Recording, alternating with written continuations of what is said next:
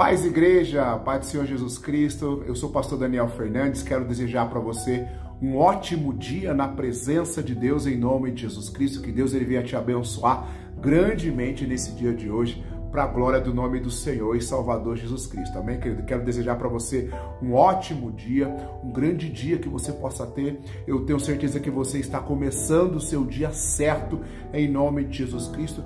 Nós vamos começar aqui com uma oração, pedindo a Deus que Deus ele venha abençoar o seu dia, a tua casa, a tua família. Amém, querido? Quero pedir para você, queridos, para você colocar o teu nome aqui embaixo nos comentários antes de nós orarmos em nome de Jesus Cristo, antes de nós falarmos uma palavra de Deus aqui para você, coloca o nome aqui embaixo, o seu nome aqui embaixo em nome de Jesus, para que nós possamos orar pela tua casa, pela tua família, em nome de Jesus Cristo, tá bom, queridos? E também não deixa, querido, em nome de Jesus, se você não for inscrito, de você se inscrever aqui em nome de Jesus Cristo, tá bom? Se inscreva aqui em nome de Jesus. Nós temos vídeos aqui, palavra de Deus todos os dias, oração às 6 horas da manhã e também às 18 horas para abençoar a tua vida. Eu costumo dizer que o nosso canal é um canal para abençoar vidas. Então se inscreva aqui em nome de Jesus Cristo, tá bom? E se você puder, pega o link dessa mensagem, querido, manda lá para os seus amigos no WhatsApp, no Facebook, seja a boca de Deus em nome de Jesus Cristo na vida de alguma pessoa em nome de Jesus, tá bom? Eu estou um pouco rouco, né? Estou fazendo bastantes vídeos e estou ficando rouco porque eu estava é, resfriado esses dias e não parece que não curou muito bem ainda, né? Mas a gente vai prosseguindo aqui em nome de Jesus Cristo, tá bom, querido? Amados, eu quero falar algo muito sério com você, mas muito sério mesmo. Estava conversando com um amigo meu e ele estava falando de uma determinada pessoa que acha que ela foi prejudicada e ela iria fazer uns trabalhos né, de macumba para acabar com a vida de três pessoas. E ela falou: Olha, vocês vão ver o que, que vão acontecer. Eu não ouvi, né? Mas ela dizia: Olha, vocês vão ver o que vão acontecer. Eu não vou dizer onde que era, onde foi, onde deixou de ir, de ser, não vou citar nomes, eu só queria é, colocar isso aqui para ilustrar para você a importância da oração. E ela dizia assim: Olha, eu vou prejudicar tal pessoa e não sei o que e tal. Deixa eu só arrumar aqui o meu, o meu aparelho aqui, não sei se está torto. E ela dizia: Olha, eu vou fazer um trabalho e vocês vão ver o que vai acontecer com fulana de tal. E aí, queridos, ela fez esse trabalho e essa fulana de tal acabou tendo uma enfermidade. Acordou, né? Certo dia ela acordou, tinha uma agulha bem nas costas dessa pessoa. Ela foi no hospital com dores, quando o médico tirou a radiografia lá, foi verificar, tinha uma agulha nas costas da pessoa. Olha, querido, o poder do inimigo. Mas o poder de Satanás e seus demônios nem se compara ao poder do nosso Deus. Mas eu vou chegar onde eu quero dizer, onde eu quero falar. E ela falava assim: Olha, é, eu vou fazer o trabalho, e ela fez o trabalho para essa moça, e essa moça teve aí, acabou tendo aí uma agulha enfiada nas suas costas, do nada. Foi para o hospital, fez uma mini cirurgia para tirar a agulha. E ela olhou para um outro rapaz e falou assim: esse rapaz também me prejudicou fazer um trabalho para ele. Ele foi lá, fez um trabalho para ele. Três dias depois ele foi assaltado.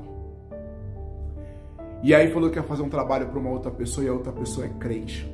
Não aconteceu nada. O que eu quero dizer isso para você, querido? Olha a importância de nós estarmos sempre orando. Olha a importância de a gente estar sempre buscando a Deus, clamando a Deus, buscando a presença de Deus, buscando, pedindo para Deus para que Ele venha nos guardar, nos proteger.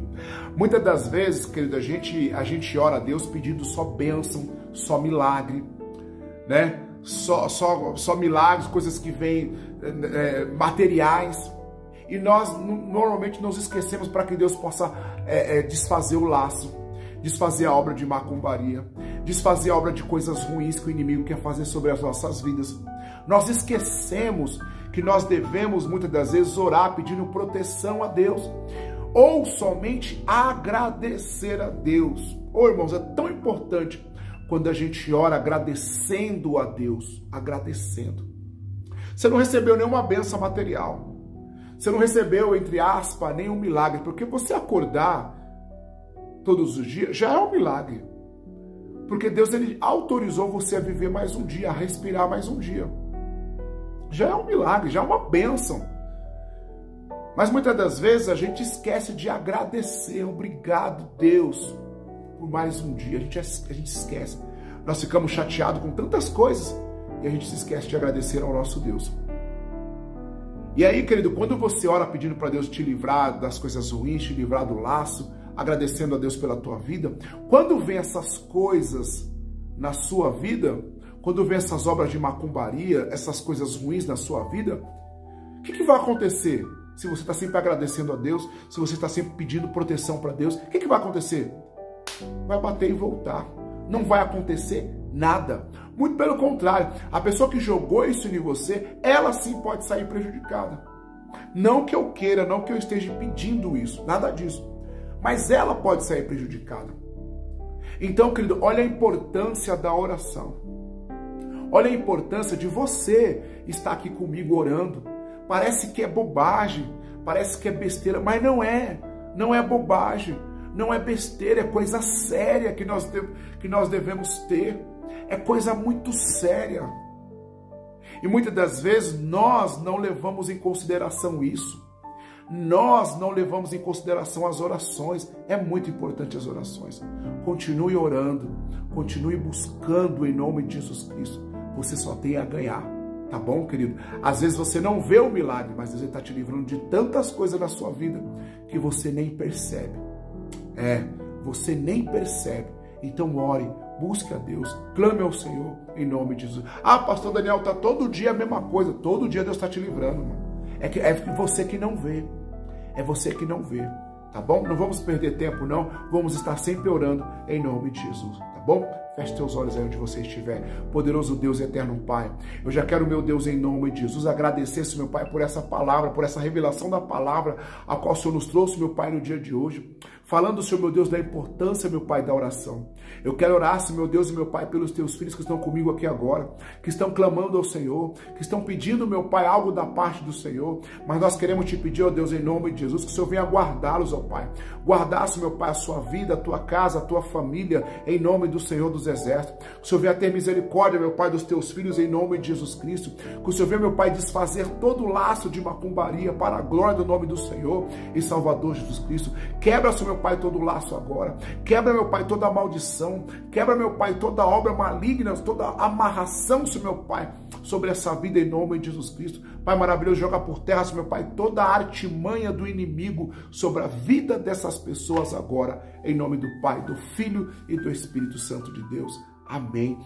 Muito obrigado, Senhor Jesus Cristo. Agradeça a Deus por mais esse dia e agradeça a Deus por essa mensagem para que você possa ver o quão é importante nós adorarmos ao nosso Deus, tá bom? Nós vamos ficando por aqui. Eu te aguardo hoje ainda às 18 horas para mais uma oração para a glória de Deus em nome de Jesus Cristo, tá bom, querido? Muito obrigado pela tua presença, muito obrigado pelo teu carinho. Que Deus ele venha te abençoar grandemente em nome de Jesus. Um grande abraço.